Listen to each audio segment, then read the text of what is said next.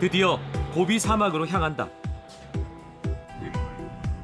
승차감은 그닥 좋지는 않았다.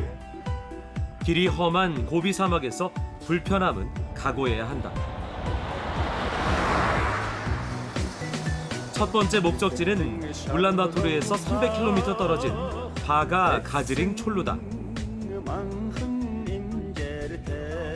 울란바토르를 떠난 지 얼마 되지 않아 풀이 막 자라기 시작한 드넓은 초원이 나타난다.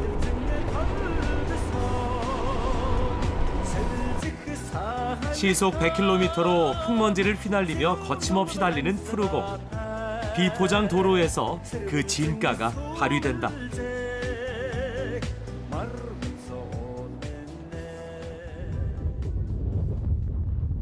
몽골의 고비 사막에서는 사람이 지나는 길이라면 어디에서든 어워라고 불리는 돌탑을 만날 수 있다. 몽골인들은 항상 길을 떠날 때 어워를 돌며 안전을 기원한다.